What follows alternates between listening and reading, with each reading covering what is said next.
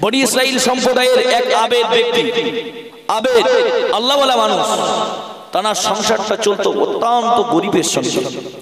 কোন সময় তিনি খাওয়া দাওয়া করতেন, কোন সময় উপোস থাকতেন সন্তান দিগকে নিয়ে। কেননা গরিব মানুষ খাওয়া হয় না এক বেলা জোটে তার এক বেলা জোটে না। এইরকম ভাবে চলাফেরা করতো। এখন সেই বেটা ছেলেটা আবেদ মানুষ বেটা ছেলেটা খুব অসুস্থ হয়ে পড়লেন অসুস্থ হওয়ার পরে তার বিবিকে লক্ষ্য করে বললেন বিবি আমি তো অসুস্থ হয়ে পড়েছি। আমি তো এখন খাটাখাটনি করতে পারি না। তবে তোমায় তুমি একটা মহিলা আমি তোমাকেও তো অন্যের কাছে কিছু আনতে পাঠাতেও পারি না। তবে দেখো সন্তানগুলো সব কান্নায় জুড়ে দিয়েছে। সন্তানগুলো সব কান্নাকাটা করছে। এখন তোমাকে ঘর ছেড়ে আস্তে আস্তে আস্তে আস্তে করে বেরিয়ে চলে যেতে হবে। বাইরে আমার গভীর ভাবে বুঝুন ফুলামাই বুঝবেন না কবিয়ারি বনি ইসরাইল সম্প্রদায়ের ভিতরে এক আবেদ ব্যক্তি ছিল। আবেদ ব্যক্তি অত্যন্ত গরিবের সঙ্গে সংসার চলতো। হঠাৎ করে যখন, এমন করে যখন রোগে আক্রান্ত হয়ে গেলেন, ওই ব্যক্তিটি যখন অসুস্থ হয়ে বললেন, নিজের অর্ধাঙ্গিনী বিবিকে ডেকে বললেন, বিবি না না না না, আমি তোমার স্বামিনী। তোমাকে একটা মুহূর্তের জন্য আমি কোনোদিন বাইরে কাজের জন্য পাঠাইনি, বিবি। একটা রুটি রুটি রুজির জন্য আমি কোনোদিন তোমাকে বাইরে বার বার করে দিইনি। ও আমার অর্ধাঙ্গিনী বিবি, যাও যাও, তুমি চলে যাও। সন্তানগুলো ক্ষুধার যন্ত্রণায় যখন ছটফট ছটফট করতেছে স্বামী তাদের স্ত্রীকে লক্ষ্য করে বললেন, বিবি, আস্তে আস্তে আস্তে আস্তে করে ঘর ছেড়ে বেরিয়ে যাও। ওই বনি ইসরাইল সম্প্রদায়ের মহিলাটা ঘর ছেড়ে টুক টুক টুক টুক করে বেরিয়ে একজন ধনাত্মক ব্যক্তির বাড়ি থেকে চলে গেলেন, যাকে আল্লাহ অনেক টাকা দিয়েছে, অনেক সম্পদ দিয়েছে। সেই ব্যক্তিটির বাড়ি চলে গেলেন। ও আমার বাজান ভাই মনে রেখে দিন ওই বনি ইসরাইল সম্প্রদায়ের মহিলাটা যখন এমন করে ধনাত্মক ব্যক্তির বাড়িতে চলে গেলেন ধনাত্মক ব্যক্তিটি বললেন, দেখো, আমি তোমাকে সব কিছু দেব, আমি তোমার অনেক কিছু মাল মাত্রা দিয়ে দেব, তবে আমার মনের একটা চাহিদা রয়েছে, আমার মনের একটা আশা রয়েছে, আমার মনের একটা তামান্না রয়েছে, আমার মনের আশাটুকু তোমার কাছ থেকে মিটিয়ে নেব। বললেন কি আশা এমন? বলছে আমার মনে একটা আশা যে আমি তোমার সঙ্গে আজকে সংগ্রাম করব। আমার মনে একটা আশা জেগেছে। তুমি কি দেবে? ওই মহিলাটি এত আল্লাহওয়ালা মানুষ ছিল এত খোদা ভীরু মানুষ ছিল আস্তে আস্তে আস্তে আস্তে করে চোখ ভরা পানি নিয়ে কানতে কানতে কানতে কানতে বাড়িতে চলে আসলেন। বলছে আমার ইজ্জত বিক্রি করব না। আস্তে আস্তে আস্তে আস্তে করে বাড়ির দিকে চলে আসলেন। এসে দেখছে সন্তানগুলো সব হাওয়া হাওয়া করে কান্নাকাটা করছে। হাও হাও করে কাঁদছে খোদার যন্ত্রণায়। তাদের খাবার ঘরে কিছু নেই। তার বৃদ্ধা বাপ পড়ে রয়েছে। রোগে আক্রান্ত হয়ে পড়ে রয়েছে। আবার এদিকে তার জননী মা ছোটাছুটি করছে কোথাও খাবার পাচ্ছে না। সন্তানগুলো যেমন কাঁদে তার তার গর্ভধারিণী মাও তখন কাঁদে। ভাই আমার গভীর ভাবে বুঝুন, ফুল আমায় বুঝবেন না কবিয়ারি এমন করে যখন ওই মহিলাটি, ওই ধনাত্মক ব্যক্তির কাছ থেকে যখন, ওই লম্পট ব্যক্তির কাছ থেকে যখন ফিরে এলেন, এই যে গিরিহে এসে দেখতে পেলেন, সন্তানগুলো ক্ষুধার যন্ত্রণায় কাতর হয়ে পড়েছে। আর গর্ভধারণী জননী মাকে লক্ষ্য করে বললেন জনুরি নে না না না না না, আমরা খোদার যন্ত্রণা সহ্য করতে পারছি না। ও জননী, তুমি একটাবার আমাকে খেতে দাও একটাবার খেতে দাও। ওই সময় গর্ভধারণী মা, জনম দুঃখিনী মা, সন্তানের কান্না সইতে পারল না। গর্ভধারণী মা মনে মনে মনস্থ করে নিয়েছে, আমি ধনাট্যক ব্যক্তির বাড়িতে চলে যাব। ও আমার আব্বা জান ভাই জানে না মুড়ি রেখে গুটি গুটি গুটি গুটি পায়ে ধনাট্যক ব্যক্তির বাড়িতে চলে গেলেন। যে ধনাট্যক ব্যক্তি কি বললেন, আজকে তোমার আজকে আমার কিছু কেটে দাও। ওই সময় ধনাট্যক ব্যক্তি বলেছিল হে মহিলা, শুনে রাখো, আমি তো তোমাকে উপঢৌকন দেব বলেছিলাম। আমি তোমার সংসারের সমস্ত খাবার আঞ্জাম তোমাকে দেব বলেছিলাম। কিন্তু আমার মনের একটা চাহিদা, আমার মনের যেটা আশা, সেটাই তোমার কাছে আমি প্রস্তাব করেছিলাম। না না না, তুমি তো এতে রাজি হলে না। ওই সময় মহিলাটি বলল, হে যুবক, তুমি শুনে রাখো, আমি তোমার প্রস্তাবে রাজি হয়ে গেলাম। তবে তুমি আমার আগে কিছু খেতে দাও। আগে তুমি আমার কিছু মাল উপঢৌকন করো। আমার সন্তান দিগকে একটুখানি দিয়ে আসি। ও আমার আব্বা জান ভাই জানেরা মনে রেখে দিন ওই ধনাত্মক ব্যক্তিটি যখন এমন করে খারাপ শেষলেস নিয়ে, খারাপ অবস্থা নিয়ে যখন ওই মহিলাটির দিকে যখন দুটো একটা পা আগাতে আগাতে শুরু করলেন, হঠাৎ করে দেখতে পাওয়া যায় ওই মহিলাটার গা অটোমেটিক ভাবে থর থরথর করে কাঁপছে, চিল্লে বলুন, সুবহানাল্লাহ। ওই যুবক লম্পটটা যখন মহিলার দিকে প্রেমে আকৃষ্ট হয়ে যখন তার সঙ্গে নোংরা আচরণ করার জন্য যখন দুটো একটা পা আস্তে আস্তে এগিয়ে আসে মহিলাটার গা যেন ঠক ঠক ঠক ঠক করে কাঁপছে। ওই ছেলেটা জিজ্ঞাসা করে, বলি সাইল সম্প্রদায়ে ওই ধনাত্মক ব্যক্তি জিজ্ঞাসা করেছিল যে তোমার গা থর থর থর থর করে কাঁপছে কেন? বলছে আমার গা কাঁপছে এই জন্য যে আল্লাহ আমাকে সৃষ্টি করেছে সেই আল্লাহ আমার ইজ্জতের মালিক। আল্লাহ আমার সম্মান দেনেওয়ালা মালিক। আর এই আমার ইজ্জত হলো আমার স্বামীর জন্য। আর আজকে তুমি আমার ইজ্জতটাকে তুমি ক্ষতি করে দেবে। তাই আমার গা আল্লাহর ভয়ে ঠক ঠক ঠক ঠক করে কাঁপছে বলুন সুবহানাল্লাহ। তখন ওই ধনাত্মক ব্যক্তিটি বললেন যে তুমি এত বড় গরিব মানুষ, তোমার একটা বেলা খাওয়া হয় আর একটা বেলা হয় না। সন্তানগুলো লোকের বাড়ি দাঁড়ে দাঁড়ে ঘরে, সন্তানগুলো তোমার করছে, তোমার স্বামী অসুস্থ হয়ে পড়ে রয়েছে। আজকে তোমার অন্তরের ভিতরে যদি আল্লাহর ভয় এতটা থাকে, আল্লাহ আমাকে তো এত বড় জমি জায়গা ঘর বাড়ি দিয়েছে, তাহলে সেই আল্লাহর ভয় আমার আপনার, আমার ভিতরে কতটা পয়দা করা উচিত? একবার বলুন সোহান আল্লাহ সঙ্গে সঙ্গে ওই যুবকটি বললেন, আজ থেকে আমি তোমার সঙ্গে ওয়াদা করলাম, জীবনে কোনোদিন তোমার দিকে কুদৃষ্টি দিয়ে তাকাবো না। তুমি গরিব হালাতে জীবন যাপন করার পরেও যে আল্লাহ তোমাকে গরিব বানিয়েছে, আল্লাহ যে আল্লাহ আমাকে ধনী বানিয়েছে, সেই আল্লাহ গরিব তোমাকে বানিয়েছে। তুমি গরিব থাকা সত্ত্বেও সেই আল্লাহর ভয় তোমার অন্তরে আছে, আল্লাহকে তুমি ভুলে যাওনি। তাহলে যে আল্লাহ আমাকে বড় লোক করেছে, আমিও সেই আল্লাহকে ভুলে যাব না।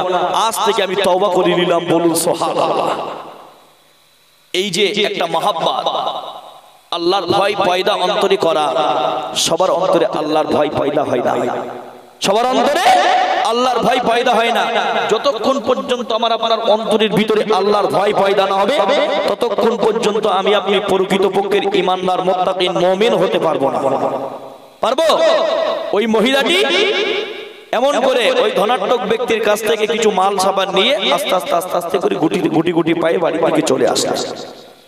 বাইরে আমার গভীর বুঝুন বুঝবেন না কবিয়ারি ওই ধনাত্মক ব্যক্তিটি এমন করে যখন, মহিলাটিকে যখন অনেক মাল যখন দিয়েছে, ওই মহিলাটি যখন গুটি গুটি গুটি গুটি পায়ে এমন করে যখন বাড়ির পানে চলে এলেন, ও আমার আব্বা জান ভাই মনে রেখে দিন, সেই জামানার নবী ছিল আল্লাহ পাকের নবী, হযরত মুসা সেই জামানাতে আল্লাহ পাক তাকে নবী বানিয়েছিল। আল্লাহ পাক সঙ্গে সঙ্গে নবী মুসা কাছে আমার আল্লাহ ওহী নাজিল করে বললেন, হে নবী মুসা, যাও যাও, চলে যাও। তোমার বংশ, তোমার বংশনী সাইন সম্প্রদায়ের ভিতরে, তোমার বংশের ভিতরে অমুক ব্যক্তিকে আমি আল্লাহ তাআলা তার জীবনের গুনাহগুলি maaf করে দিলাম বলুন, সুবহানাল্লাহ। হে নবী মুসা, এই সংবাদটাকে যে ওই ধনাত্মক ব্যক্তির কাছে তুমি একবার শুনিয়ে দাও বলুন, সুবহানাল্লাহ। সেই ব্যক্তিটি আল্লাহ পাক সঙ্গে সঙ্গে তার প্রতি খুশি হয়ে, আমার আল্লাহ রাজি হয়ে যে সে ব্যক্তিটি যখন তওবা করেছে, নারীকে একা পাওয়া সত্ত্বেও তার নাগালে, তার নাগালের ভিতরে পাওয়া সত্ত্বেও আল্লাহকে ভয় করেছে, আল্লাহকে চিনেছে। এই বলে আল্লাহ তার যাবতীয় গোনারাশিগুলোকে মাফ করে দিয়েছেন। বলুন সোহান আল্লাহ দিয়ে আল্লাহ জামানার নবী হযরত মুসা আলাইহিস সালামকে ডেকে বললেন, মুসা, যাও। তোমার কওমের ভিতরে ওই যে ব্যক্তিটি, ওই ব্যক্তিটির আমি আল্লাহ তামাম জিন্দেগানির গোনা রাশিগুলোকে আমি আল্লাহ পাক ঝরিয়ে দিলাম। একবার চিল্লে বলুন, সুবহানাল্লাহ। তাহলে একটা কথা চিন্তা করা দরকার যে দুনিয়াতে আমি আপনি যদি আল্লাহর ভয় বেশি বেশি করে অন্তরের ভিতরে পয়দা করি ঈমান আমার আপনার ভিতরে মজবুত হয়ে যাবে। একবার বলুন, সুবহানাল্লাহ। আর যদি সেই আল্লাহর ভয় আমার আপনার অন্তরের ভিতরে না পয়দা করতে পারি, কোনোদিন ইমানদার হতে পারব না। আর যদি ইমান না থাকে, জান্নাতে যেতে পারব বলে মনে হয়? জান্নাতে যেতে পারব? না। অর্থাৎ ইমান আমার আপনার অন্তরের ভিতরে পয়দা করতে হবে। যদি পয়দা করতে পারি, নিশ্চিত খোদার জান্নাত আমার আমার জন্য অজীব হয়ে যায় বল সুবহানাল্লাহ। এ নবীরা খালিয়ার বেশে, মা খাদিজার দেশে। এ নবীরা খালিয়ার বেশে, মা খাদিজার দেশে। সগোল চরাইতে নবী পাগাড়িয়ার পাদদেশে। এ নবীর প্রেমে পাগল হলেন এ নবীর প্রেমে পাগল হলেন আম্মা খাদিজা। আর তাই তো তিনি এ সেরা মহিলা। আল্লাহ সাল্লি আলা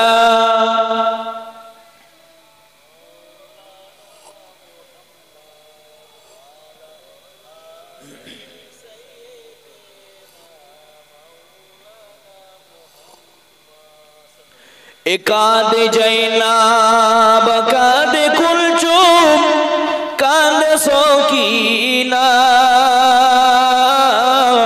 আর মহারমের ওই দশ তারিখে করুণ ঘটনা, এ কাঁদে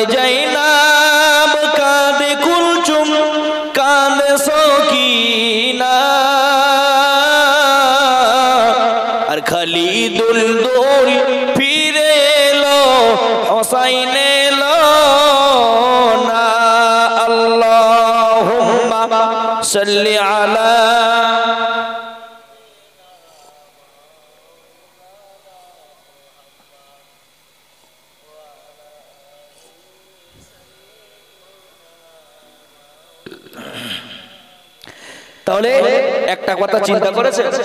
যাদেরকে আল্লাহ গরিব হালাতে রেখেছে, যারা গরিব হালাতে রয়েছে, সেই ব্যক্তিটা যদি আল্লাহকে এতটা স্মরণ করতে পারে, আল্লাহ আমাকে আপনাকে তো অনেক যা কিছু দিয়েছে, গরিবের তুলনায় অনেক কিছু দিয়েছে।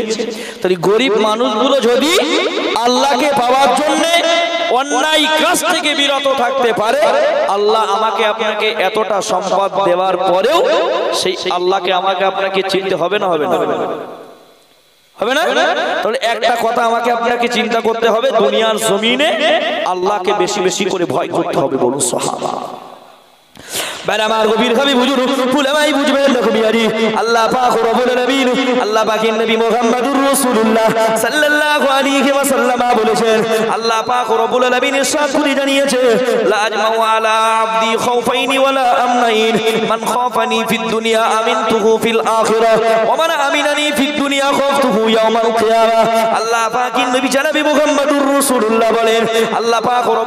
জানিয়ে দিয়ে বললেন আমি আল্লাহ আমার বান্দার অন্তরের ভিতরে দুটি ভয় এবং দুটি অভয় আমি আল্লাহ মিশ্র করে মিশ্রিত করে রাখি নাই। আল্লাহ আল্লাহ পাক জানিয়েছেন, মান খাফানি ফিদ দুনিয়া আমিন, মান খাফানি ফিদ দুনিয়া আমিন তুহু ফিল আখিরাহ। দুনিয়ার জমিনে যে ব্যক্তি আমি আল্লাহ আমাকে ভয় করবে, আল্লাহ পাকের নবী জানিয়ে দিলেন যে দুনিয়ার জমিনে আল্লাহকে ভয় করবে। ওমানা আমিনানি ফিদ দুনিয়া খাফতুহু ইয়াউমাল কিয়ামা। মহান আল্লাহ পাক রব্বুল আলামিন কিয়ামতের ময়দানে তাকে নির্ভয়ে রেখে দেবে বলুন, সুবহানাল্লাহ। আল্লাহ পাকে রব্বুল আল আল্লাহর নবী বলছে যে আল্লাহ জানিয়েছে, লাজমাউ আলা আবদি খাউফাইনি ওয়ালা আমনাইন। যারা আল্লাহ পাক প্রত্যেকটা মানুষের অন্তরের ভিতরে দুটো ভয় আর দুটো দুটো ভয় আর দুটো অভয়, দুটোকে আল্লাহ একজস্ট করে রাখে না। মান খাফানি ফিদ দুনিয়া আমিনতুহু ফিল আখিরাহ যে ব্যক্তি দুনিয়ার জমিনে আমার আল্লাহকে ভয় করবে, ওমান আমিনানি ফিদ দুনিয়া খাফতুহু ইয়াউমাল কিয়ামা, কিয়ামতের দিনে আল্লাহ পাক তাকে নির্ভয় রেখে দেবে বলুন সুবহানাল্লাহ। আর যারা দুনিয়াতে আল্লাহকে ভয় করবে না, কেয়ামতের ময়দানে আল্লাহ পাক তাদেরকে ভয় ভীতু ভিতরে আল্লাহ পাক রেখে দেবে। কেন মানুষরা তখন ভয় থরথর করে কাঁপতে থাকবে, সেই দিনটার নাম হবে কিয়ামতের দিন। অর্থাৎ আমাকে আপনাকে চিন্তা করতে হবে, দুনিয়াতে বেশি বেশি করে সেই আল্লাহ পাকের ভয় অন্তরের ভিতরে জায়গা দিতে হবে। ঠিক কিনা বলুন? যদি আজকে আমার আপনার অন্তরের ভিতরে সেই আল্লাহ পাকের ভয় যদি জন্ম যদি না দিতে পারি, নিশ্চিত করে মনে রাখুন, আমি আপনি কোনোদিন ইমানদারের খাতাতে নামটা উঠাতে পারব না। ইমানদারের খাতাতে নামটা উঠাতে পারব না। বসিরাটের আল্লামাহির আল্লামায়ে বাঙ্গাল রুহুল আমিন রহমাতুল্লাহ তিনি আল্লাহকে চিনেছিলেন আল্লাহকে মনে প্রাণে মেনে নিয়েছিলেন আল্লাহকে স্মরণ করেছিলেন তাই আল্লাহ পাক রব্বুল আলামিন তার নামখানা প্রত্যেকটি মানুষের মুখে মুখে ছড়িয়ে দিয়েছেন বলুন সুবহানাল্লাহ। ফুরফুরার পীর আবু বকর তিনি এমন করে দাদা হুজুর কিবলা, তানার অন্তরের ভিতরে আল্লাহর কোরআনে জায়গা দিয়েছিল রসুল্লাহ তরিকা হাদিস শরীফ জায়গা দিয়েছিল, তাই আল্লাহ পাক রব্বুল আলামিন তাদেরকে সম্মান বাড়িয়ে দিয়েছেন এবং পৃথিবীর প্রত্যেকটা মানুষের কানে কানে তাদের কন্যে কুফুরে তাদের নামখানা আল্লাহ পাক পৌঁছে দিয়েছেন বলুন সহাব তাহলে আজকে যদি সেই মুসলমান ঘরে আমি আপনি জন্ম নিয়েছি যদি সেই আল্লাহর ভয়টা আমার আপনার অন্তরের ভিতরে না থাকে মুসলমান বলে দাবি করব কোন জ্ঞানে? মুসলমান বলে কীভাবে আমার আপনার মুসলমানের খাতাতে নামটা উঠাবো? মুসলমানের খাতাতে নামটা কীভাবে উঠবে? একটা বার চিন্তা করে দেখেছে, যদি মুসলমানের খাতাতে আমার আপনার নামটা উঠাতে হয়, তাহলে সেই আল্লাহকে বেশি বেশি করে আমাকে আপনাকে ভয় করতে হবে। যদি আমি আপনি আল্লাহকে ভয় করতে পারি, তাহলে আমার আপনার নামটা মুসলমানের খাতায় থাকবে। বলুন সোহান আল্লাহ ভাবে বুঝুন, উলামাই বুঝবেন আল্লাহ কোরআন শরীফের ভিতরে বলে একটি ওই কোরআনুল কারীমের সূরাতুল মাইদার 44 নম্বর আয়াতে আমার আল্লাহ পাক রব্বুল আলামিন জানিয়ে ফালা তাকশাউন নাস ওয়াকশাউন তোমরা মানুষকে ভয় না করে, আমি আল্লাহ বেশি বেশি ভয় করো বলুন, সুবহানাল্লাহ। কিন্তু বর্তমান যুব সংরক্ষণের মুসলমানদের দেখতে পাওয়া যায়, তারা রাজনৈতিক লিডার দিকের ভয় করে, তারা নেতা, নেত্রী এমপি দিকের ভয় করে, না না না না না। মুসলমানের বাচ্চা হয়ে কোনোদিন কোনো মানুষকে ভয় করতে পারে না যে আল্লাহ পাক রব্বুল আলামিন আমাকে আপনাকে পৃথিবীর জমিনে জন্ম দিয়েছে যে আল্লাহ পাক পৃথিবীর জমিনে আমাকে আপনাকে পাঠিয়েছে, যে আল্লাহ আমাকে আপনাকে সৃষ্টি করেছে। আমি আপনি যখন মায়ের পেটে ছিলাম, না না না না, আমার আপনার মাথার চুলগুলো তখন ছিল না, গাল ভর্তি তখন দাঁতগুলো ছিল না, আমার আপনার পাটা ছিল না, আমার আপনার নখগুলো ছিল না। তাহলে যে আল্লাহ পাক রব্বুল আলামিন এত সুন্দর করে আকৃতি প্রকৃতি সৌন্দর্য গঠন দিয়েছেন সেই আল্লাহকে ভয় না করে আজকে বর্তমান যুব সংরক্ষণের মুসলমানরা, রাজনৈতিক লিডার দিকের ভয় করে। না না না, তাদেরকে অনুসরণ করছে, অনুসরণ করে চলেছে। আমার আব্বা জান ভাই জানেরা রেখে আল্লাহ পাকিন নবী ছাড়াবি মুহাম্মাদুর রাসূলুল্লাহ সাল্লাল্লাহু আলাইহি ওয়াসাল্লাম। দয়ার নবী এখান থেকে দেড় হাজার বছর আগে সোনার জাপানে জানিয়ে দিলেন আলমার উমা মান আহাব্বা, যে যাকে অনুসরণ করবে, মহান আল্লাহ পাক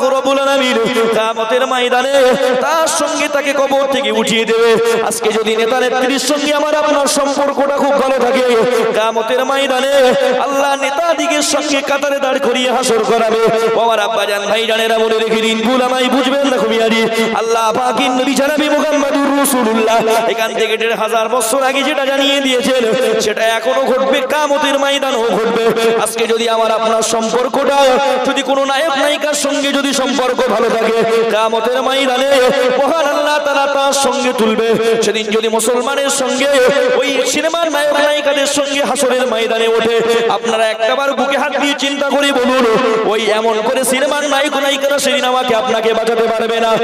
আজকে যদি আমি আপনি ফুরফুরার পীর আবু বকর সিদ্দিকের অন্তরে মহাব্বত টানতে পারি, আমার আপনার দিলের ভিতরে যদি দাদা হুজুর কেবলার মহাব্বতটা থাকে আল্লামা রুহুল আমিন রাহমাতুল্লাহ যদি অন্তরের ভিতরে থাকে, নিশ্চিত করে মনে রাখুন ময়দানে তাদের কাতারে, তাদের সঙ্গে যখন আল্লাহ হাসরের ময়দানে তুলবে, সেদিন আমার আপনার কোনো চিন্তা থাকবে না, বলুন সুবহানাল্লাহ। আজকে আমার আপনার চিন্তা চেতনা হলো যে রাজনৈতিক দলের লিডারটা হয়তো বাঁচাতে পারে, কিন্তু সেদিন কেউ বাঁচাতে পারবে না।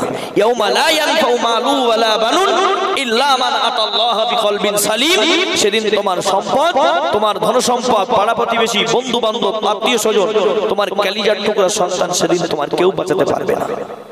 সেদিন তোমার কিছুই কাজে আসবে না। যদি একটা নেক সন্তান পৃথিবীর জমি থেকে রেখে যেতে পারো যদি একটা কল মানুষের পুঁতে দিয়ে যেতে পারো মানুষ তাকে পানি খাবে। সেটা তোমার জন্য কাজে আসবে। একটা পুকুর খনন করে দিয়েছ মানুষ তাকে গোসল করবে। মানুষ তার পানি নিয়ে ব্যবহার করবে এটা সদগাই জারিয়া তুমি এমন করে একটা বস্ত্রহীনকে একটা বস্ত্র দান করেছ সেটা তোমার সদগাই জারিয়া এগুলো থেকে আমতের ময়দানে তোমার কাজে আসবে। তবে তুমি যদি ওই সমস্ত নেতাদিগের সঙ্গে এমন করে দুনিয়ার জমিনে নায়ক নায়িকাদিগের সঙ্গে, গায়িকাদের সঙ্গে তোমার সম্পর্কটা খুব ভালো থাকে। তুমি মনে করবে দুনিয়ায় তোমার সম্পর্ক ভালো থাকলেও আখেরাতে তোমার সম্পর্ক ভালো থাকবে না। আখেরাতে তোমার সম্পর্কটা যেমন ভালো থাকবে না, তোমার সমস্ত বডির অবস্থাও সেদিন ভালো থাকবে না। সেদিন তোমাকে কে বাঁচাবে? আল্লাহর আজাব থেকে কে বাঁচাবে? তাহলে সেই আল্লাহ আমাকে আপনাকে সৃষ্টি করেছেন। একটা কথা বলুন তো যে দুনিয়ার জমিনে যদি আল্লাহ না পাঠিয়ে মায়ের পেটের থেকে আল্লাহ নষ্ট করে দিত। সেদিন আমার আপনার উপায় কি হতো? আল্লাহ পারে না পারে না বাপ। আল্লাহ পারে না আল্লাহ আমাকে আপনাকে ভালোবেসে মহব্বত করে যে আল্লাহ দুনিয়ার জমিনে আমাকে আপনাকে পাঠিয়েছে। সেই আল্লাহর ভয় আমার আপনার অন্তরে আনার দরকার আছে না? নিশ্চিত আছে? তাহলে যে আল্লাহ আমাকে আপনাকে দুনিয়াতে ভালোবেসে মহাব্বত করে পৃথিবীর জমিনে আল্লাহ পাক পাঠিয়েছে, প্রত্যেকটা ব্যক্তির উচিত সেই আল্লাহকে বেশি বেশি করে স্মরণ করা বলো, সুবহানাল্লাহ।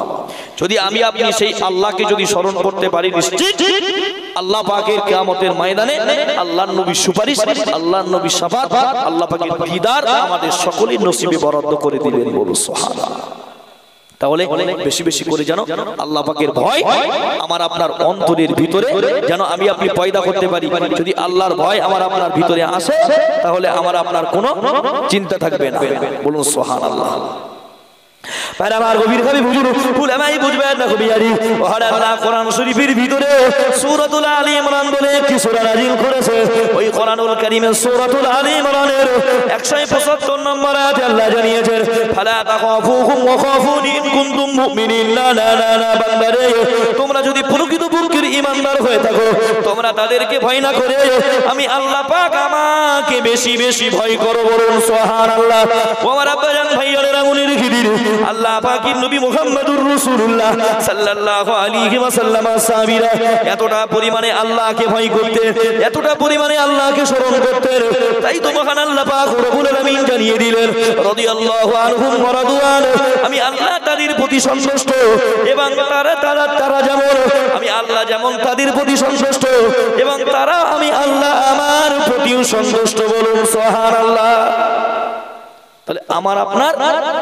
নবী সাহাবীরা কেমন আল্লাহকে চিনেছেন? একটা বার চিন্তা করে দেখুন। আমরা সকলেই নাম শুনেছি। মুসলিম জাহানের দ্বিতীয় খলিফা হযরত ওমর ইবনুল খাত্তাব রাদিয়াল্লাহু আনহু এই ওমর তানাই খাত্তাব রাদিয়াল্লাহু আনহু এনার মর্যাদা একটুখানি বলি। আল্লাহ নবী বলছে, লাকানা ওমারু নাবিয়া। এই হাদিসটা অনেক। ছোট ছোট করে দিলাম। লাকান ওমারু নাবিয়া, আল্লাহ রাসূল বলছে যে আমার পরে যদি আল্লাহ কাউকে নবুয়াত দিত, কাউকে আল্লাহ নবী করতো, সেটা হযরত ওমর কি করে দিত বলো সুবহানাল্লাহ। তাহলে ওমারের মর্যাদা খোদার দরবারে কম না বেশি? বেশি না? যে ওমার রাস্তা দিয়ে, যে রাস্তা দিয়ে চলতো, চল্লিশ থেকে একচল্লিশ দিন পাপার তো ইবলিশ শয়তান সেই রাস্তা দিয়ে চলাচল করতো তাহলে সেই ওমারের মর্যাদা খোদার দরবারে বেশি না কম? অনেক বেশি সেই ওমার এত কান্না কানতেন মৃত্যুর ভয়ে এত কান্না কানতেন আল্লাহ রসুল সাল্লাল্লাহু আলাইহি ওয়াসাল্লাম সাহাবী হযরত ওমর এত কান্না কানতেন কিতাব লেখকেরা বর্ণনা করেছে হযরত ওমরের চোখের কোণা দিয়ে এমন করে পানি ঝরত সেই জায়গাগুলো একটা কালো দাগ রেখা পড়ে গিয়েছিল বলুন সুবহানাল্লাহ। তাহলে তাদের ভিতরে যদি এতটা আল্লাহর ভয় থাকে যে ওমার নবী হবার ক্ষমতা রাখে আল্লাহর নবী বলছে লাকানা ওমার আমার পরে যদি আল্লাহ কাউকে নবুয়াত দিত সেটা হযরত ওমরকেই দিত। সেই ওমরের মতো একজন সাহাবী রাসূলুল্লাহ যে 10 জন সাহাবীকে জান্নাতের সার্টিফিকেট দিয়ে গেছে, তার ভিতরে হযরত ওমর রয়েছে। আল্লাহর নবীর মুহাম্মাদুর রাসূলুল্লাহ জীবদ্দশাতে হযরত ওমরকে জান্নাতের সার্টিফিকেট দিলেন বলুন, সুবহানাল্লাহ। সেই ওমরের মতো সাহাবী মৃত্যুর ভয়ে এত কান্না কানতেন এত রোনাজারি করতেন, রাস্তা দিয়ে হুজুর আমার হেঁটে হেঁটে যাচ্ছে। কিছু খড়কুটো হাতে নিয়ে খড়কুটো হাতে নিয়ে দেখছে আর বলছে ওমারের মাতা যদি ওমারকে প্রসাব না করত তাহলে কিয়ামতের ময়দানে হজরত ওমারকে হিসাব দিতে হতো না বলুন সোহান তাহলে আল্লাহর ভয় তাদের অন্তরে কেমন ছিল? বাইরে আমার গভীর ভাবে বুঝুন পুরামাই বুঝবেন কবি আলী আল্লাহ পাকের নবী মুহাম্মদুর রাসূলুল্লাহ সাল্লাল্লাহু আলাইহি ওয়াসাল্লাম আসহাবি হযরত ওমর তানাই খাত্তাব রাদিয়াল্লাহু তাআলা আনহু। হুজুর আমার যখন রাস্তা দিয়ে হেঁটে হেঁটে যেতেন হেঁটে হেঁটে যাবার পথে কিছু খড় কুটো হাতে নিয়ে বলতেন, না না না না। যদি ওমরের মাথা, যদি ওমরকে প্রসাব না করত, তাহলে কিয়ামতের ময়দানে আল্লাহ দরবারে হিসাব দিতে হতো না। ওমর আব্বা জান ভাই জানেরা মনে রেখে দিন, আল্লাহ পাকের নবী স্বামী হযরত ওমরের অন্তরের ভিতরে যদি এতটা আল্লাহর ভয় থাকে আল্লাহ পাকের আযাবের ভয় যদি এতটা থাকে তাহলে আমি আপনি তো সেই নবীর উম্মাত হতে পেরেছি। যে নবীকে না সৃষ্টি করলে আল্লাহ তামাম কুলকাই নাই কিছুই সৃষ্টি করতেন না। সেই নবীর উম্মাত হিসাবে আমাকে আপনার আমার আপনার অন্তরের ভিতরে সেই আল্লাহর ভয়টা কতটা পরিমাণে আনা উচিত? একটা বাত চিন্তা করেছে। সেই নবীর ভয় আমার আপনার অন্তরের ভিতরে আজকে জায়গা নেই। তাহলে সেই নবীর ভয় যদি আমার আপনার অন্তরের ভিতরে যদি জায়গা না দিতে পারি নিশ্চিত করে মনে রাখুন যে খোদার দরবারে সেদিন কিন্তু আমি আপনি ছাড় পাবো না। খোদার দরবারে সেদিন কিন্তু ছাড় পাবো না। একটা কথা চিন্তা করে দেখুন দুনিয়াতে অনেক বন্ধু পাওয়া যায়। দুনিয়াতে সুখ দুঃখের অনেক বন্ধু পাওয়া যায়। আজকে আমার দুটো টাকা লাগবে। একটা ভাইয়ের কাছে গেছি, ভাই, আমার খুব আর্জেন্ট আমাকে দিতেই হবে, না দিলে অমুক লোক আমার গলায় গামছা কিন্তু সেই মানুষটা দুনিয়া থেকে আমার কিছু টাকা দিয়েছে। আমি সেই টাকাগুলো নিয়ে আবার সেই মানুষটাকে দিয়েছি। আমার মান, সম্মান, ইজ্জত দুনিয়ার জমিনে বেঁচে গেছে। কিন্তু কেয়ামতের ময়দানটা এত কঠিন হবে। সেই দিন কোন রাজনৈতিক দলের লিডার কোন নিজের কলিজার টুকরা সন্তান, নিজের স্ত্রী, যে স্ত্রীকে এতটা পরিমাণে মহব্বত করি, এতটা পরিমাণে ভালোবাসি, যে আমার সুখ দুঃখের ভাগিদার, যখন তার কোনো শরীরটা খারাপ হয়ে যায়, আমার মনটা খারাপ লাগে, যখন আমার শরীরটা অসুস্থ হয়ে যায় তখন তার অন্তরটা কেঁদে ওঠে। এই রকম যে সুখ দুঃখের ভাগিদার, সেই সুখ দুঃখের ভাগিদারও কি আমাদের ময়দানে কোনো কাজে আসবে না। স্বামী যখন দেখবে, আমার স্ত্রী আমার দিকে হেঁটে হেঁটে আসছে, স্বামী তখন দৌড়ে পালাবে, বলবে, ওই আমার বিবি আসতে মানে ও দুনিয়াতে আমার অনেক কাপড় চোপড় পরিষ্কার করেছিল, আমার জন্য রান্না করেছিল, আমার জন্য অনেক খাটাখাটনি করেছে। ওই কিয়ামতের ময়দানে বিপদে পড়ে গেছে, ওই নেকি নিতে আসছে। স্বামী ছুটে পালাবে। একটা কথা চিন্তা করেছেন? যে সেই কিয়ামতের ময়দানে সেই স্ত্রী কোনো কাজে আসবে না। এবার স্ত্রীর কাছে স্বামী যখন ছুটে ছুটে যাবে ওই স্ত্রীও ছুটে পালাবে। ওই আমার স্বামী আসতো বিপদে পড়ে গিয়ে যায় তাই আমার দিক ছুটে ছুটে আসতে যে সন্তানের জন্য এত খাটাখাটনি যে সন্তানের জন্য জমির আল ঠেলতেছে। মানে যদি এক বিঘে জমি বানানো যায় মাঠে যেয়ে মানুষ শুধু আলির কোনায় শুধু কোপ চালাচ্ছে মানে আল কাটলেই জমি বাড়বে। এই তো? তাহলে যে সন্তানের মুখে হাসি ফোটানোর জন্য পরের জমির আল কেটে যদি চারটে আঙুল বাড়ানো যায় আমার সন্তানের জমি একটুখানি বেড়ে গেল। কিন্তু সেই মানুষটা তো চিন্তা করা দরকার। আমি সন্তানের জন্য করে রেখে যাচ্ছি। কিন্তু সেই সন্তান কেয়ামতে একটা নেকি দেওয়ার জন্য যখন গর্ভধারণী মা, যে মা দশ মাস, দশটা দিন গর্ভে ধারণ করেছে, কলিজার টুকরা সন্তান যখন মায়ের কাছে ছুটে ছুটি চলে যাবে, মা জননী যখন দেখতে পাবে, তুই আমার কলিজার টুকরা সন্তান আমার দিকে আসতেছে। আবার যখন মা যখন সন্তানের দিকে ছুটে চলে যাবে, সন্তান দেখবে আমার মা ছুটে ছুটে চলে আসছে, সব উভয় উভয় পালিয়ে চলে যাবে। সেই দিনটার নাম হলো ইদা সুলসিলাতিল আরদু জিলজালাহা। সেই দিনটার নাম হলো আল কারিয়াতুম আল কারিয়া সেই দিনটার নাম হলো ইদা ওয়াকাতিল ওয়াকিয়া। সেই দিনটার নাম হলো কিয়ামতের দিন। একটা কথা চিন্তা করেছে, সেই কিয়ামতের ময়দানের কথা। যে কিয়ামতের ময়দানে কোন নবী সালাম আল্লাহর সামনে দাঁড়িয়ে কথা বলার মতো সাহস পাবে না। এক লক্ষ মতবান্তরে দু লক্ষ তেইশ হাজার নশো নিরানব্বই জন নবী আল্লাহ পৃথিবীতে পাঠিয়েছে। প্রত্যেকটা নবীর মুখে থাকবে, ইয়া নাফসি ইয়া নাফসি। প্রত্যেকটা উম্মাতের উম্মাতের মুখে থাকবে, প্রত্যেকটা নবীর উম্মাতের মুখে থাকবে, ইয়া নাফসি ইয়া নাফসি। কিন্তু আমার আপনার এমন একজন নবী, সেই নবীর মুখে শুধু থাকবে, ইয়া হাবলি উম্মাতি বলুন, সুবহানাল্লাহ। তাহলে আমার আপনার নবীর মুখে থাকবে কি? ইয়া হাবলি সেই নবীর উম্মাত তো আমরা। আজকে যদি সেই নবীর তরিকা অনুযায়ী যদি আমি আপনি জীবন যাপন না করি, তাহলে আমার আপনার হিসাবটা কীভাবে আল্লাহর দরবারে দেব? কীভাবে দেবো আল্লাহ দরবারে? একটা বার চিন্তা করে দেখো। দুনিয়াটা হলো চিরস্থায়ী নয়, দুনিয়াটা হলো ক্ষণেকের জন্য। এসছি বিশ্রাম করতে, আবার বিশ্রাম করে চলে যাব। এখন আমি জলসা করছি, আমার পরে একজন আসবেন এসে সে আবার খানিক সময় এখানে বলবে, আস্তে চলে যাবে। অর্থাৎ এই যে আজকে যে চেয়ারটা দেওয়া হয়েছে, এই চেয়ারটা হলো কিছুক্ষণের জন্য একটা বিশ্রামের জায়গা। তথা দুনিয়ার জমিনটা হলো আমাদের কাছে এমন করে বিশ্রামের জায়গা। অর্থাৎ আমাকে আপনাকে বিশ্রাম করতে হবে, আর বেশি বেশি করে আল্লাহ পাকের ভয় অন্তরের ভিতরে জায়গা দিতে হবে বলুন সোহানা আমার ভাই পাকির নবী জনাবে মুহাম্মদুর রাসূলুল্লাহ সাল্লাল্লাহু আলাইহি ওয়াসাল্লাম আল্লাহ পাকির নবী এখান থেকে আমার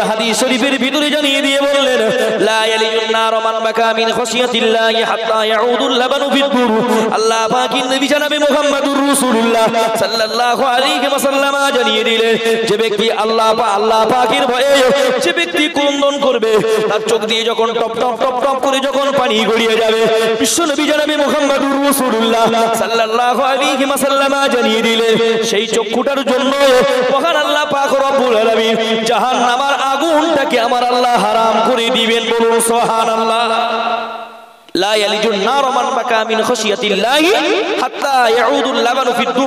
যে ব্যক্তি আল্লাহর ভয় করবে, নিশ্চিত মহান আল্লাহ পাক রব্বুল আলামিন তার এই চোখের চোখটাকে যে ব্যক্তি চোখ দিয়ে আল্লাহর ভয়ে কাঁদবে, আল্লাহ পাক নিশ্চিত এই চোখের জন্য জাহান্নামের আগুন আল্লাহ পাক হারাম করে দিবেন বলুন, সুবহানাল্লাহ।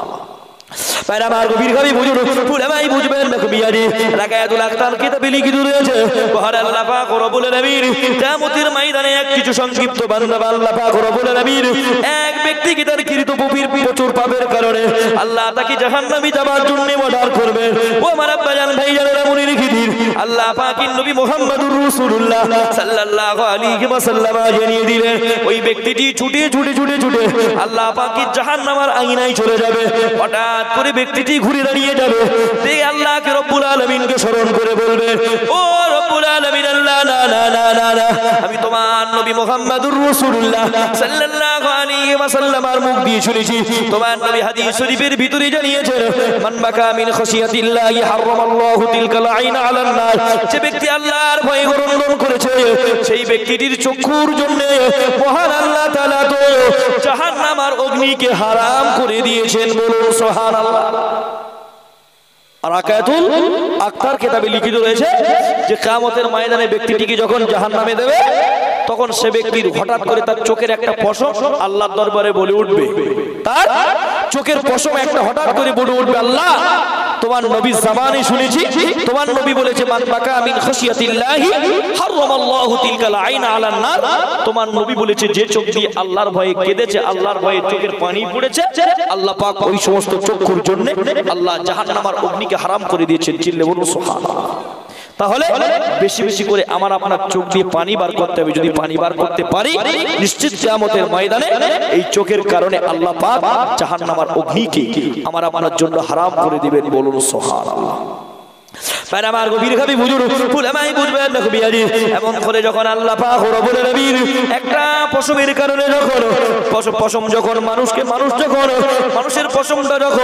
আল্লাহ আল্লাহ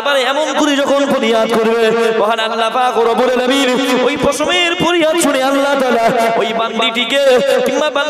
আল্লাহ আল্লাহ হারাম করে দিয়ে, মহান আল্লাহ পাক রব্বুল আলামিন তাকেই তো জান্নাতবাসী করে দিবেন বলুন, সুবহানাল্লাহ। ও আমার আব্বা জান ভাই জানেরা মনে রেখে দিন। কিয়ামতের ময়দানে ওই মুহূর্তে আল্লাহ পাকের ফেরেশতা হযরত জিবরাইল আমিন আলাইহিস সালাম উচ্চ স্বরে আওয়াজ দিয়ে বলবেন, হাসরবাসী দিগকে লক্ষ্য করে বলবেন, ও হাসরবাসীরা শুনে রাখো, জেনে রাখো, এই মুহূর্তে মহান আল্লাহ পাক রব্বুল আলামিন এক ব্যক্তির একটা পশমের কারণে আল্লাহ তাআলা তাকে তামাম জিন্দেগানির গুনাহগুলো মাফ করে তার জন্য জাহান্নামটা হারাম করে দিয়ে আমার আল্লাহ তাকে জান্নাত দিয়েছেন বলুন, সুবহানাল্লাহ।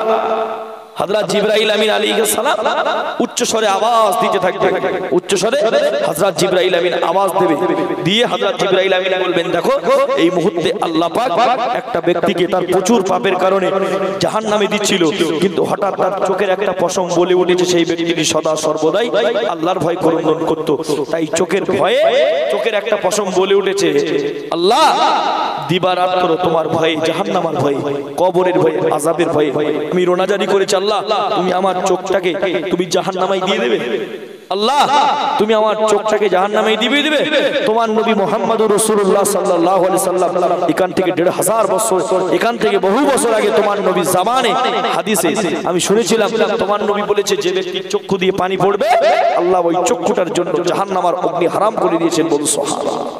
আরে একটা কথা চিন্তা করুন, জীবনে, দুনিয়ার জমিনে আমাকে আপনাকে সদা সর্বদাই সেই আল্লাহ পাকের ভয় আমার আপনার অন্তরের ভিতরে পয়দা করতে হবে। যদি আল্লাহর ভয় অন্তরের ভিতরে এসে যায়, তাহলে কোনো রকমের কোনো টেনশন, কোনো চিন্তা আমার আপনার অন্তরে থাকবে না। তাহলে যদি সেই আল্লাহর ভয় অন্তরে রাখতে পারি, তাহলে আমার আপনার দুনিয়াটাও ভালো, আখেরাতটাও ভালো।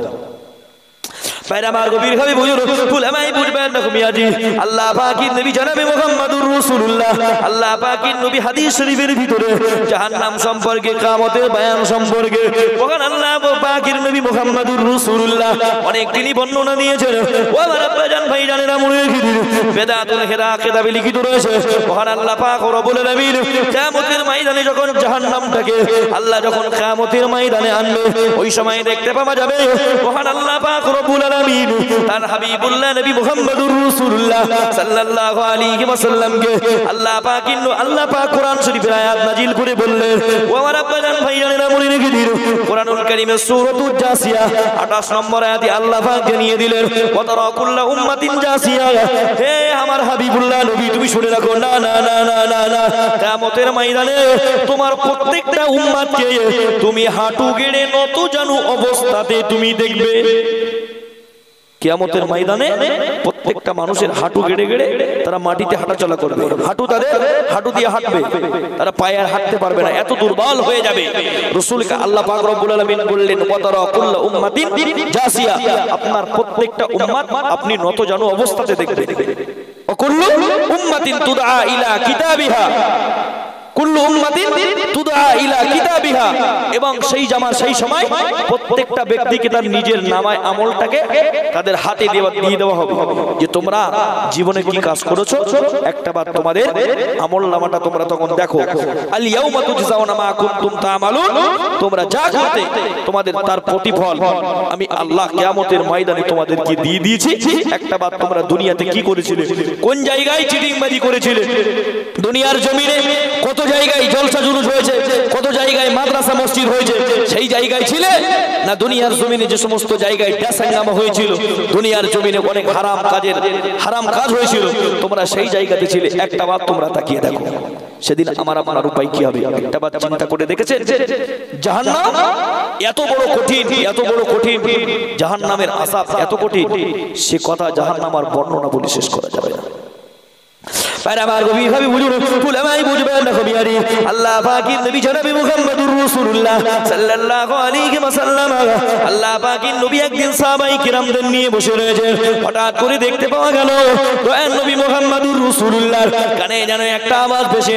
আল্লাহ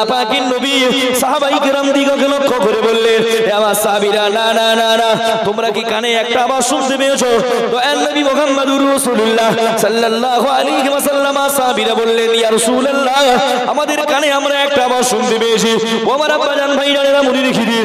আল্লাহ পাকের নবী মুহাম্মদুর রাসূলুল্লাহ সেদিন সাহাবাই কেরাম দিগকে লক্ষ্য করে বললেন, হে আমার সাহাবীরা, এই আওয়াজটা তোমরা কিসের? তোমরা জানতে, বলতে পারো? ওই সময় আল্লাহ পাকের নবী সাহাবীরা বলেছিলেন, না না, ইয়া রাসূলুল্লাহ, আল্লাহু আ'লাম। আল্লাহ এবং তার রাসূল তিনি ভালো জানেন।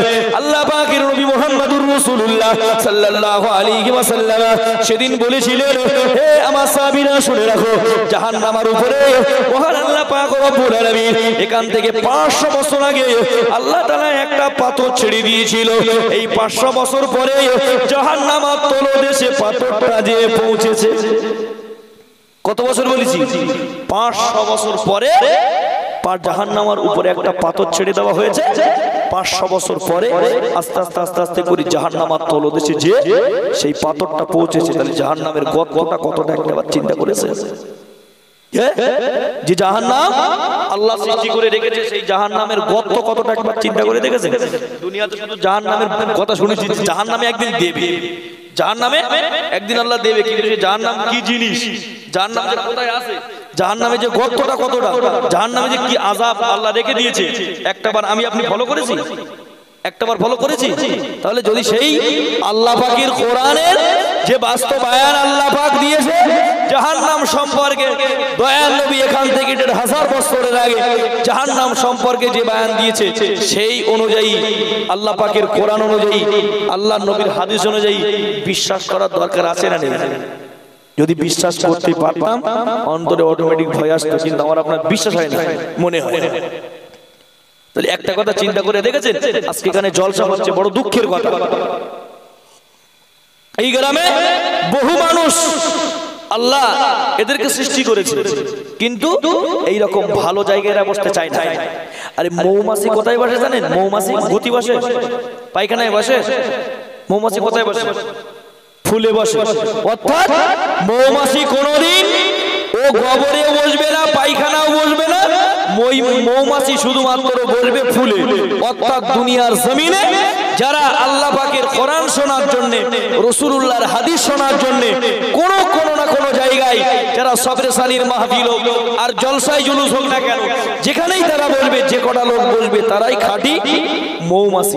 বাদ বাকি যারা রাস্তাঘাটে টেডামি করে ঘুরে বাড়ি চলে যাবে, এরা গুয়ে মাসি এরা গতি বসালো।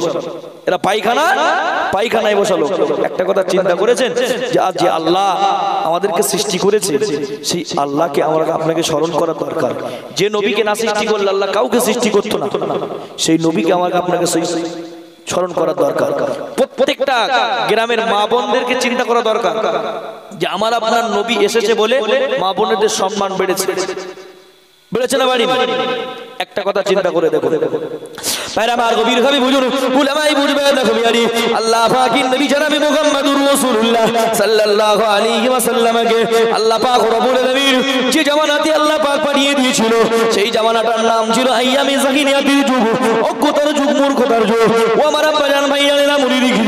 সেই জামানাতে যদি কোনো কন্যা সন্তান জন্ম নিত, তাদের জন্মদাতা পিতা যিনি জন্ম দিয়েছেন, ওই পিতা মক্কার মরুভূমির বালু কণা সরিয়ে সরিয়ে দিয়ে আস্তে আস্তে করে জীবিত অবস্থায় তাদের কন্যাগুলোকে তারা কতল করে দিত।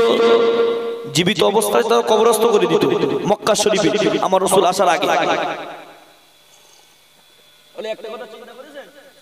আল্লাহ পাকের নবী মোহাম্মদুর রসুল্লাহ যে জামানায় যে সময় আল্লাহর নবী আসলেন, মক্কাতে কন্যা সন্তান হলে তাদের যে পিতা জন্ম দিয়েছে, মক্কার বালুকণা সরিয়ে জীবিত অবস্থাতে তাদের কন্যাগুলোকে তার হত্যা করত, কবর দিয়ে দিত।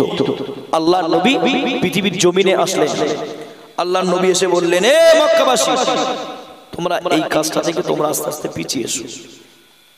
বাইরে আমার গভীর ভাবে বুঝুন ফুলাবাই বুঝবে না বিয়ারি আল্লাহ পাকের নবী জানাবি মুহাম্মদুর রাসূলুল্লাহ।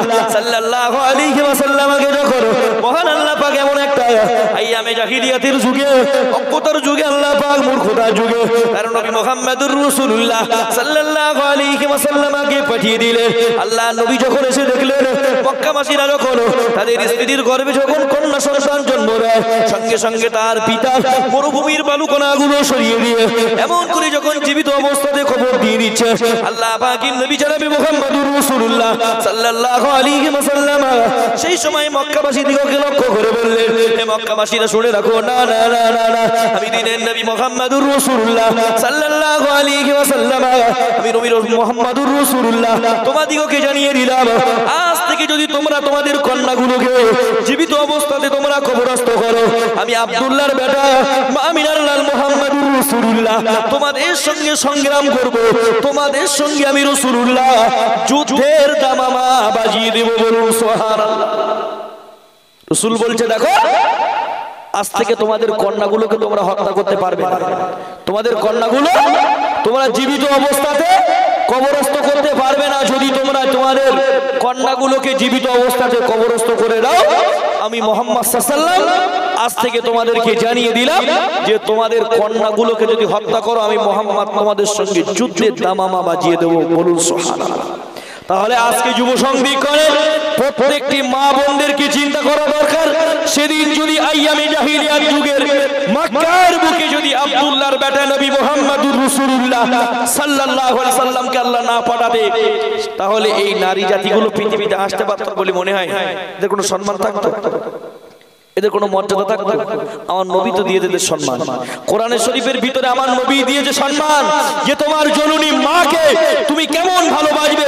রসুল হাদিসে দিয়েছে, আল্লাহ কোরআনে জানিয়েছে, তোমার জননী গর্ভধারণী মা, যে মা তোমাকে দশ মাস, দশ দিন গর্ভে ধারণ করে রেখেছে, তোমার মা জননীকে তুমি কেমন ভাবে মহব্বত করবে? তোমার যে পিতা জন্ম দিয়েছে, পিতার সঙ্গে তুমি কেমন আচার ব্যবহার করবে? এটা তো আল্লাহ রসুল এখান থেকে দেড় হাজার বছর আগে জানিয়েছে। আজকে যদি সেই নবীর হাদিসগুলো যদি না ফলো করি, যে নবী মোহাম্মদ রসুল্লাহ আমার আপনার জন্য ভেবেছে, যে নবী এখনও শুয়ে পড়ে কবরের জমিনে সবুজ মিনানের নিচে শুয়ে শুয়ে নবী আমার উম্মতি উম্মতি বলে কাঁদছেন, বলুন সেই নবীর আমি আমি তাহলে সেই নবীকে স্মরণ করার দরকার আছে না আজকে যদি সেই নবীর স্মরণ থেকে ভুলে যাই, তাহলে আমার আপনার উপায়টা কি হবে? একটা বাদ চিন্তা করে দেখেছেন? কিয়ামতের ময়দানে আল্লাহ পাক যখন সকল বান্দা বান্দি দিগকে আল্লাহ পাক কেমতের ময়দানে হাজির করিয়ে দেবে, আদম আলা নবিয়ানা আলী সালাম, আদম আলা নবিয়ানা আলী সালামের সন্তান হাবিল আর কাবিল। এদেরকে কবর থেকে উঠানো হবে। হাবিলকে আল্লাহ পাক কবর থেকে উঠাবে। উঠিয়ে বলবেন হাবিল যখন কবর থেকে উঠিয়ে যাবে, তখন হাবিল তখন বলতে থাকবে, হাদা মিম্মার কদিনা আমি এত শত বছর ধরে ঘুমাচ্ছিলাম, আমার কবর থেকে কে উঠালো, কে আমার ঘুমখানা ভাঙিয়ে দিল, আজকের দিনটার নাম কি? একটা পারো বাইরে আমার গভীর কবি বুঝুর ফুলামাই বুঝবেন না কবি আজি আদম আলা নবী আলা আলী সালামের সন্তান। হাবিল যখন কবর থেকে উঠে পড়বে, না না না না, বলতে থাকবে, হাদা মিম্মার কদিনা আমার কি ঘুমখানা ভাঙিয়ে দিল? আমি তো হাজার হাজার বছর ধরে আমি কবরে জমিনে নীরব নীরব নীরব নিস্তব্ধতার সঙ্গে ঘুমিয়েছিলাম। ও আমার আব্বাজান ভাইয়ানেরা মনে রেখে দিন, হাবিল তখন বলতে থাকবে, না না না না না, আজকে দিনটা কোন দিন?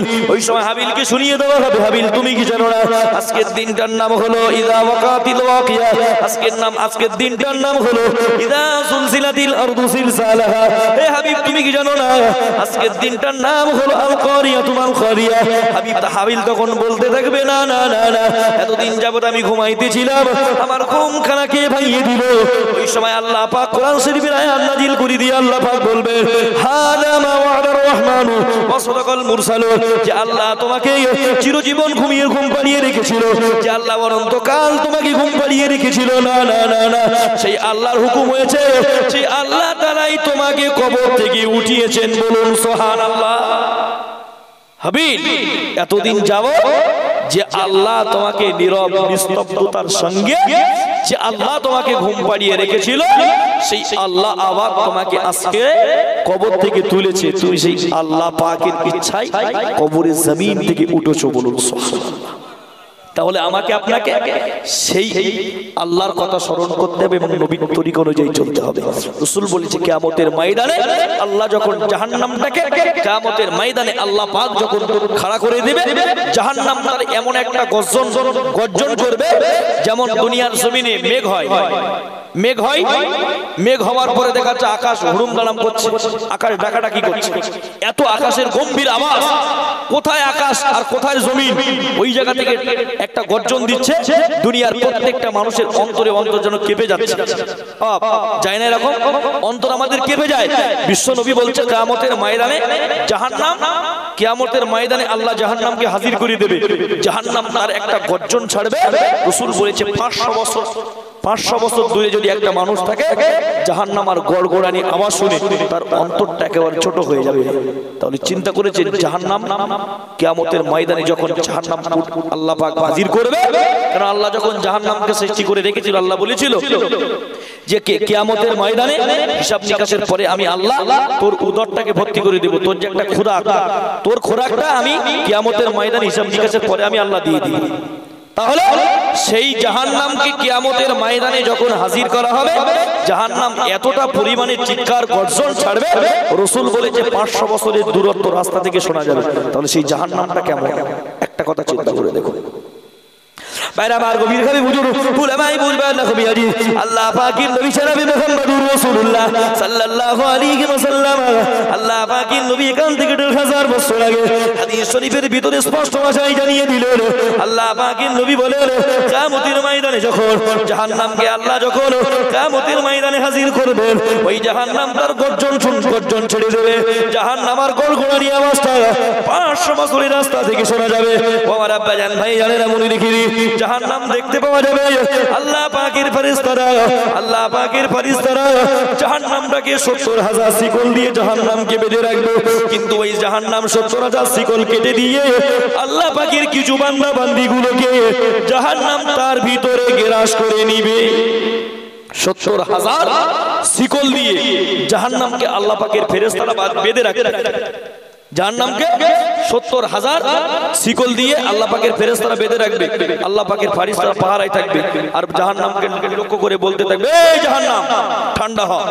এক্ষুনি তোর উদারকে আমি আল্লাহ ভর্তি করে দিব। এক্ষুনি ভর্তি করে দেবো, একটুখানি ঠান্ডা। তাহলে চিন্তা করেছেন জাহান্নামকে আল্লাহ ডেকে বলবে এই জাহান্নাম, তুই একটুখানি ঠান্ডা হয় একটু তোর উদার ভরতে হয়ে যাবে। কিন্তু দেখতে পাওয়া যায় জাহান্নাম এত পরিমাণে গড়গড়ানি আওয়াজ দিতে থাকবে, কিন্তু কিছু সংক্ষিপ্ত বান্দা বান্দিদিগকে আল্লাহ পাকের জাহান্নাম তার ভিতরে গ্রাস করে নেবে। কিছু বান্দাবান্দিকে জাহান্নাম আল্লাহ বলা সত্ত্বেও জাহান্নাম কিছু সংক্ষিপ্ত আকারে বান্দাবান্দিকে হঠাৎ করে গ্রাস করে দেবে। আবার দেখতে পাওয়া যাবে জাহান্নাম আবার যখন ছুটে ছুটে তার বান্দাবান্দির দিকে, জাহান্নাম ছুটে ছুটে চলে আসবে, আল্লাহ বলবে, এই জাহান্নাম, থাম থাম। দাঁড়া একটুখানি তাহলে আল্লাহ যখন প্রথম বান্দাগুলোকে যখন গেরাস করেছে তখন আল্লাহ কিছু বলল না? কিন্তু পরে যখন আবার কিছু বান্দাকে গেরাস করতে যাবে আল্লাহ বলছে দাঁড়া এই সমস্ত একটা বান্দার তুই গেরাস করতে পারবি না। বলু সোহান আল্লাহ আরে প্রথম যারা গেরাস করেছে তারা কারা আর এরা কারা? এরা দুনিয়ার জমিনে আখির জামানার নবীর উম্মাত তাই আল্লাহ পাকের দয়া হয়ে যাবে।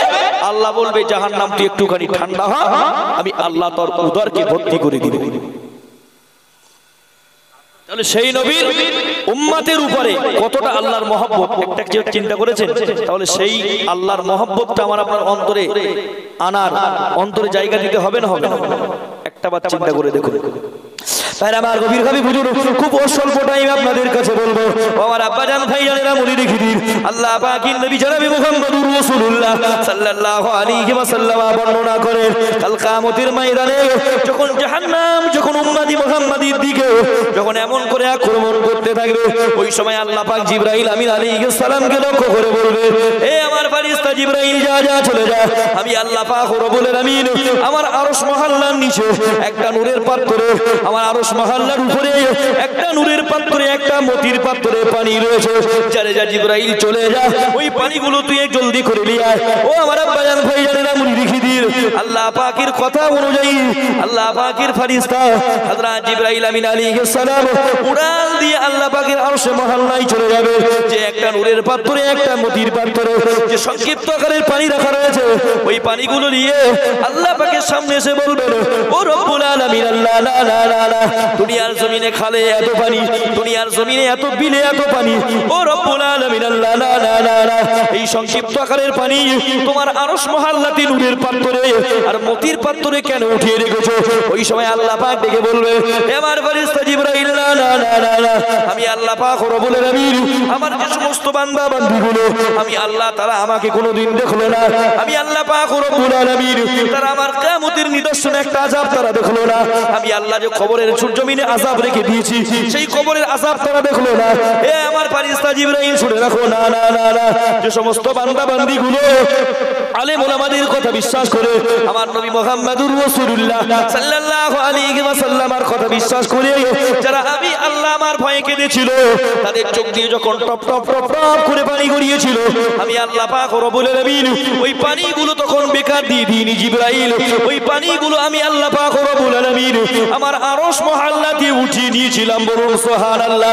বাবা রাব্বাজান ভাইয়ারের মনি রেখে আল্লাহ পাকের ফারিস্তা হযরত জিবরাইল আমিন আলাইহিস সালাম, আল্লাহ পাকের নবী মুহাম্মদুর রাসূলুল্লাহ কাছে নিয়ে যাবেন। পানিগুলো নিয়ে বলবেন, ইয়া রাসূলুল্লাহ, ইয়া হাবিবাল্লাহ, হুজুর, না না না না না। জন্য আপনি এই পানিগুলো জাহান্নামের উপরে ছিটিয়ে দিন। আল্লাহ পাকের নবী মুহাম্মদুর রাসূলুল্লাহ সাল্লাল্লাহু আলাইহি ওয়াসাল্লাম সঙ্গে সঙ্গে জাহান্নামের উপরে ছিটিয়ে দেবে। জাহান্নামটা টপ করে ঠান্ডা হয়ে যাবে বলুন, সুবহানাল্লাহ। ও বাবাজিরা ভাইরা মনে রেখে দিন। আল্লাহ পাকের নবী মুহাম্মদুর রাসূলুল্লাহ সেদিন ফারিস্তা জিবরাইলকে লক্ষ্য করে আল্লাহ পাকের ফারিস্তা জিবরাইল, না না না না না। এই সংক্ষিপ্ত আকারের পানি এত বড় জাহান্নামের উপরে ছিটিয়ে দিলাম। কিন্তু জাহান্নামটা টপ করে ঠান্ডা হয়ে গেল। এই পানিটা একটাবার কিসের একটুখানি বলুন বলুন, সুবহানাল্লাহ। ও আমার আব্বাজান ভাইয়ানের রেখে দিন আল্লাহ পাকের নবী মুহাম্মদুর রাসূলুল্লাহর সঙ্গে। আল্লাহ পাকের ফারিস্তা জিবরাইল বলবে, ইয়া রাসূলুল্লাহ, ইয়া হাবিবাল্লাহ না না না আপনার উম্মতেরা জাহান্নামের ভয়ে আপনার কথা বিশ্বাস করে, আলেম উলামাদের কথা বিশ্বাস করে, তাদের অন্তরের ভিতরে তো আল্লাহর ভয়টা জাগিয়েছিল। তোমার রাসূলুল্লাহ, তুমি যেটা বলেছিলে, ইয়া রাসূলুল্লাহ, ইয়া হাবিবাল্লাহ হুজুর, তুমি যে সুন্নাত অনুযায়ী চলতে বলেছিলে, তোমার সুন্নাত অনুযায়ী তারা জীবন যাপন করে, আল্লাহর জাহান্নামের ভয়টা তাদের অন্তরের ভিতরে এনে কবরের আযাবের ভয়টা তাদের অন্তরের ভিতরে এনে, ও আল্লাহ পাকের নবী, তারা গভীর রাতের আরামের ঘুমকে হারাম করে দিয়ে যে দুপোটা চোখের পানি তারা ফেলেছিল, সেই পানিটাকে আমার আল্লাহ বেকার দিল না। তাদের নাকের ডোকায় আসার আগে আমার আল্লাহ তালা মহাল্লাতে উঠিয়ে নিয়েছিল বলুন সোহার আল্লাহ তাহলে জাহান নামের আগুনটা টপ করে ঠান্ডা হয়ে যাবে। একটা বার চিন্তা করেছেন? আজকে যদি বেশি বেশি পৃথিবীর জমিনে, যদি বেশি বেশি করে আমি আপনি ক্রন্দন করতে পারি, নিশ্চিত করে একটা কথা মনে রাখুন জাহান নামার ভয় যদি আমার আপনার অন্তরের ভিতরে থাকে নবীর সুপারিশ কিয়ামতের ময়দানে পাবো। অর্থাৎ যে কটা দিন আল্লাহ হায়াতে জিন্দেগিতে বাঁচিয়ে রাখে।